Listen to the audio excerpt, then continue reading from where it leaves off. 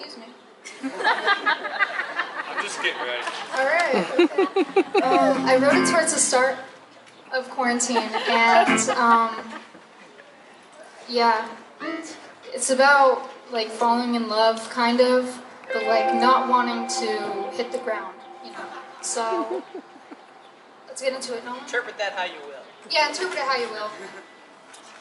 how you will.